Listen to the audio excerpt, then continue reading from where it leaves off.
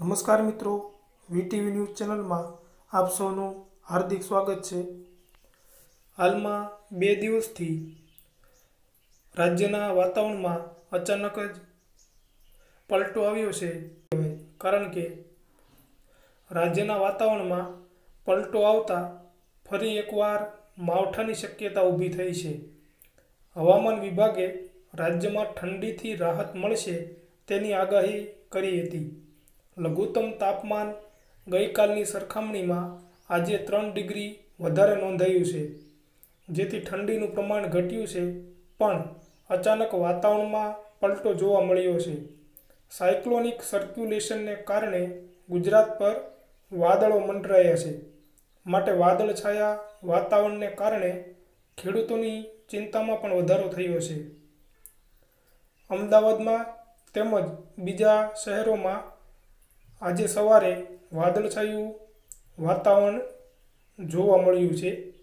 હવામાન વિભાગે જણાવ્યું છે કે લઘુત્તમ અને મહત્તમ તાપમાનમાં વધારો થશે, જેથી ઠંડીના પ્રમાણમાં ઘટાડો જોવા મળશે અને તાપમાનમાં ત્રણથી ચાર ડિગ્રીનો વધારો થશે. ક્લાઇમેટ ચેન્જની અસર જોવા મળી રહી છે. જેને લીધે સિસ્ટમ વારંવાર સક્રિય થઈ રહી છે અને વાતાવરણમાં પલટો, કમોસમી વરસાદ, તાપમાનમાં અચાનક વધારો, ઘટાડો જોવા મળી રહ્યો છે. જેથી સિઝનલ પાકને પણ નુકસાન થવાની વકી છે. પાકને નુકસાન થતાં તેની સીધી અસર માર્કેટ પર જોવા મળે છે. આજે પણ ઠંડી ઘટી છે, પણ વાતાવરણમાં પલટો જોવા મળ્યો છે. વાદળછાયા વાતાવરણને કારણે ભેજનું પ્રમાણ પણ વધ્યું છે. જેને લઈને પાકમાં નવી નવી જીવાતો પણ પેદા થતી હોય છે. હાલમાં બે દિવસથી વાતાવરણમાં અચાનક જ પલટો જોવા મળે છે, જેના કારણે અત્યારના ખેતીના પાકને મોટા પાયે નુકસાન થાય છે. કારણ કે આ વાતાવરણ છે, એમાં અચાનક ભેજનું પ્રમાણ પણ વધી જતું હોય છે અને દિવસે ગરમી પણ વધી જતી હોય છે.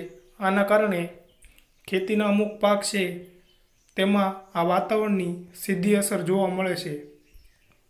કારણ કે વાતાવરણના અચાનક જ પલટાથી પાકમાં ખૂબ મોટી જીવાતોનો ઉપદ્રવ વધી જતો હોય છે અને આના કારણે ખેડૂતોના જે પણ પાક છે, તેમાં આ વાતાવરણ સીધી અસર કરે છે. ખૂબ જ પાકમાં જીવાતો અને બીજા રોગો વધી જવાથી પાક નુકસાન મોટા પાયે થાય છે. બે દિવસ તો આપણે જોઈએ છીએ કે રાજ્યના વાતાવરણમાં અચાનક જ વાદળછાયું વાતાવરણ જોવા મળ્યું છે. ક્યાંક ક્યાંક છાંટા પણ પડ્યા છે. જે આ વાતાવરણ છે તે ખેડૂતો માટે વધારે ચિંતાનો વિષય કહી શકાય.